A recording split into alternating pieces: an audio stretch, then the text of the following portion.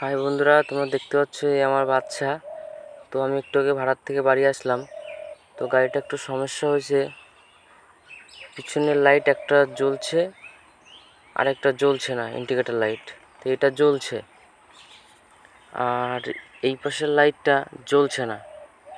তোমরা দেখতে পাচ্ছ, এটা জ্বলছে, আর এই পাশেরটা জ্বলছে না। তো এখন আমি স্ক্রু ড্রাইভারটাতে খুলবো, খুলে দেখব ভিতরে কি হয়েছে?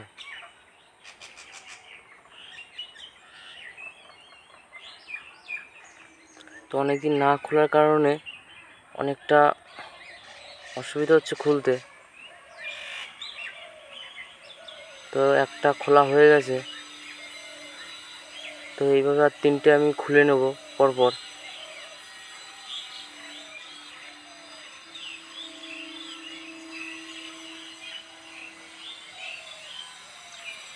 তো ফাইনালি সব কটা খোলা হয়ে গেছে। এবার এটাকে আমি খুলবো ওপেন করব। দেখব ভিতরে কি আছে, কি হয়েছে।